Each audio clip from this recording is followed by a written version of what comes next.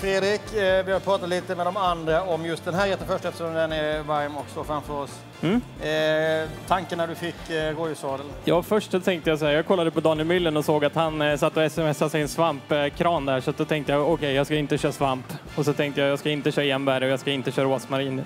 Eh, och så vill jag hitta andra toner som ändå går ihop med vilt. Eh, så att jag har ju både kaffe, choklad, eh, Wutzi Periferi-peppar, eh, mycket fänkål överlag. Eh, tycker ändå den har den här härliga eh, tonerna som passar bra till vilt. Och sen eh, tänkte jag ju rotselleri, jag gillar rotselleri. Jag gillar gräddfil och sen eh, hasselnötter. Såsen, vad säger vi då? Ja, men det var ju med massa härliga kryddor. Det känns nästan lite, mm, verkligen asiatiskt. Men lite så, Ja, det fast- kinesiska hållet får man säga Precis, så. ja men lite så. Men ändå att man försöker hålla det här eh, traditionella, lite alltså till svenska med där man känner, känner igen sig liksom. Eh, så. Kålen Det- har marinerat i lite granolja för att få lite av den här skogskänslan också. Men det vi ser nu lite genomgående eh, med rådjuret, det intressanta är ju att det är väldigt kraftiga smaker hos, eh, det här är jättebra smaker, höga smaker. Jo. Det händer något när man äter det. Ja, precis. Men det kräver ju också, jag menar rådjur är ganska köttigt liksom så att eh, tycker ändå att man behöver få upp sina... Ja, det är ju ett vilt djur. Men du har ju valt Ja. att, mm, vad ska man säga, göra en färs runt Ja, om. precis. Jag är för feg för att tranchera på benet. Så, eh, sådär. Men jag tycker, nej feg ska jag inte Det säga, här jag är skojar också bara. en väldigt Ja, svår teknik och den ser ju precis. väldigt fin ut. Ja, så nej, jag, nej, jag gillade att få den. Jag testade en massa olika men tyckte ändå att det saftigaste och godaste blev det ändå när man fick in färsen. För då tar man ju vara på ganska mycket, mycket av eh, allt puts också liksom, så att man får en god färs som binder runt. Där kan man jobba in mycket smak också. Vad är detta som ligger på här? Det är hasselnöt, rostad lök och lite rosépeppar. Berätta hur du, tillagningen på just rådjuret. Jag har gjort en färs först. Jag har mixat eh, lite, lite anklever, eh, lite kyckling och rådjur. Och kycklingen är ju bara för att binda upp den så den blir lite lättare att jobba med. Eh, och sen eh, bara dratt ut den på matta, fryst den så att den är helt fryst. Och sen då eh, skurit ut sadelbitarna.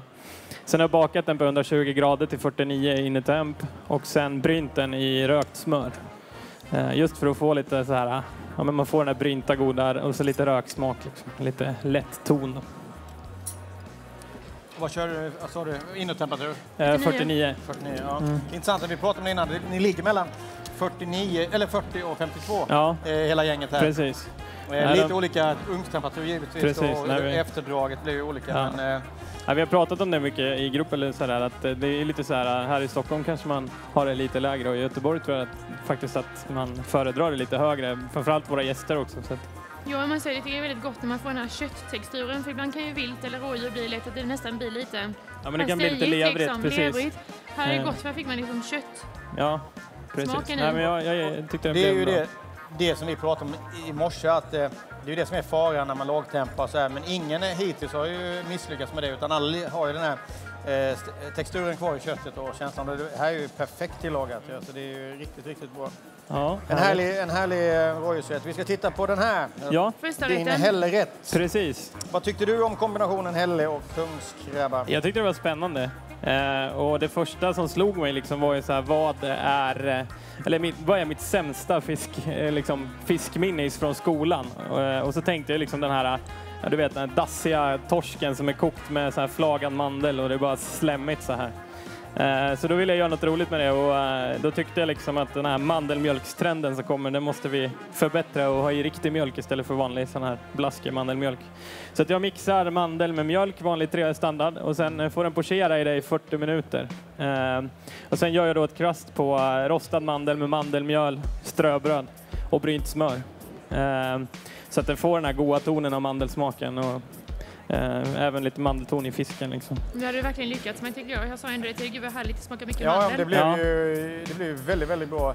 Precis. Men- Och sen kungskrabban är lite så här, det finns ju så mycket delar och där vill jag också försöka alltså, ta mindre antal ben men använda all, verkligen allt. Så att har gjort, eh, eller dels stekte ju den fina bicepsbiten om man säger med äppelmust och sen eh, gjorde en eh, liten krabbkrokett på allt så här eh, konstiga leder och sånt där och sen även en sallad under det som just för att få med och sen rosta alla skalen i såsen och få den här alltså helheten med krabban. Det var bra skjuts i såsen. Ja, vi pratade om såsen här. Alltså, den var ju otroligt... Precis, så det är bara Hällefond som är rostad och sen eh, sätter jag om den med massa kungskrabbaskalen. Supersmart. Du, jag måste väl säga, du har kört många tävlingar. Ja, Hittar du några svårigheter här idag, även om du har sjukt eh, stor rutin?